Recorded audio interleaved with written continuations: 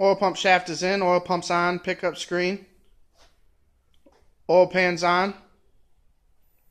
As far as I'm going to get with this build, customer will take it and do the install. Appreciate everybody for checking out our videos. Again, thanks again from Clarkston Performance. Have a good weekend.